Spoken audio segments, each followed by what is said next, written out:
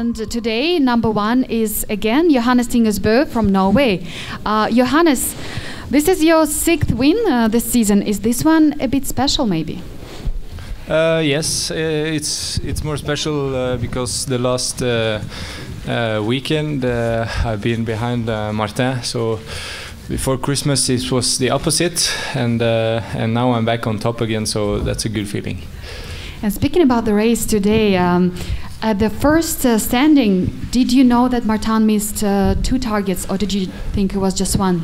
Uh, I heard, I saw he missed one, and I heard after the shooting that he missed two. And what a dramatic last loop we had. Uh, were you worried that Martin would catch you? Uh, yeah, I was. I was thinking about it when I saw him uh, out on the tracks there. Uh, but I tried to just uh, yeah stay in my own uh, lane for the tracks, and it was very good practice to stay on the lead on the last lap. It's it's very tough mental, and you just have to to think forward and uh, not so much about the people behind. And what gave you power on that last loop? I don't know. Maybe uh, yeah, when you fight for the win, you, you, you don't want to to be weak, you know. Uh, so it's just to be happy with the pain in the legs and ski as fast as you can. And next week we are going to Antholz to Italy. What are your goals for next week? It will be the last World Cup before heading to Olympics yeah, my fiance will come down, so uh, I'm looking forward to to have her on uh, her first World Cup outside uh, Norway. So that will be fun. That will be additional motivation. Yes. Congratulations. Thank you. And in second place, we have uh, Martin Fourcade from France. And that's a good news for me because he will be really tired for the competitions. Well, um, let's go back to the race. Uh, uh, what was your strategy? Did it change uh, after your missed shots, shots and standing?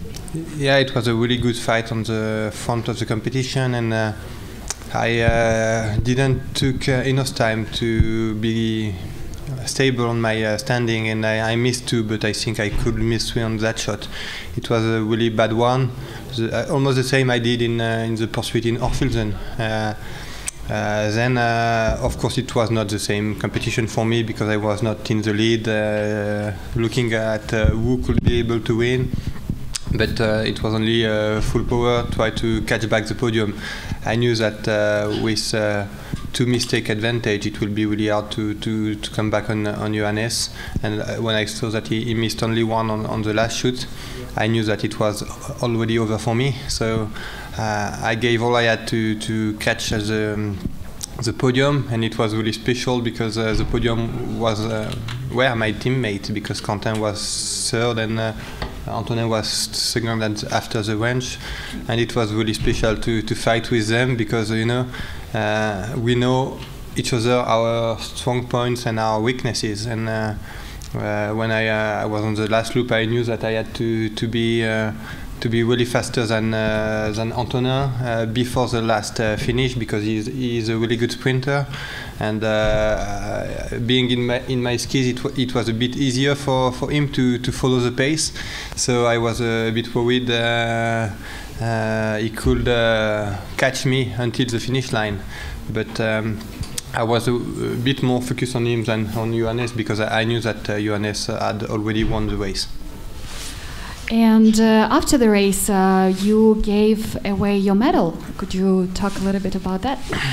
Yeah, it's uh, not something special because I, I, never keep any any medal for the World Cup. You know, I'm uh, not too much into the the things and more about the, the feelings and uh, emotions. So I think uh, people are really happy when we give our medal, and uh, I love to give medals to the kids. So it's uh, something I usually do, and uh, I'm not an hero because it's not something I like. So it's a bit, um, yeah.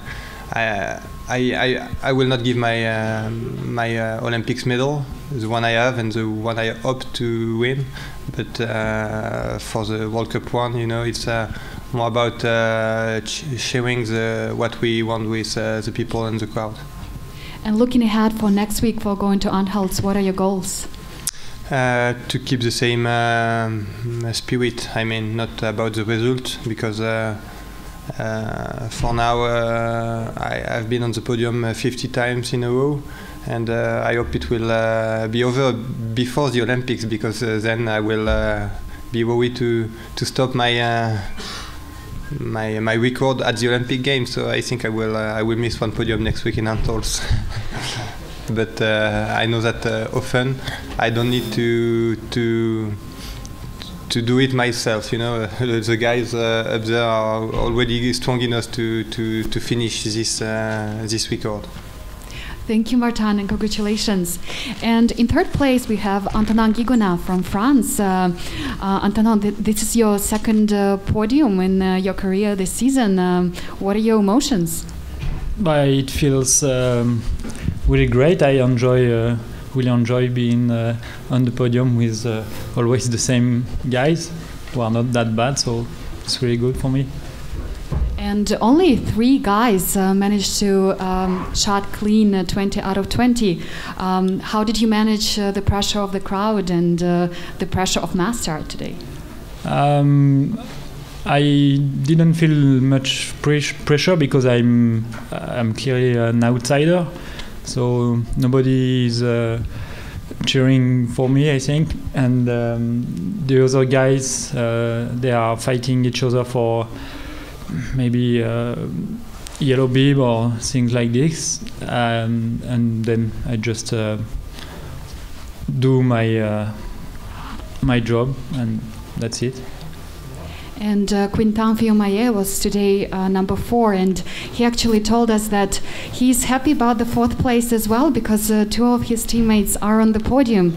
Uh, is that how you feel as well? Are you happy to share the podium with uh, your teammate? Yeah, really. We today we showed that uh, we have um, four guys um, really interesting for um, the relay, the Norwegian they beat uh, us uh, two days ago, but I think with uh, being a bit more, being much a bit better, I think we can challenge the Norwegian team.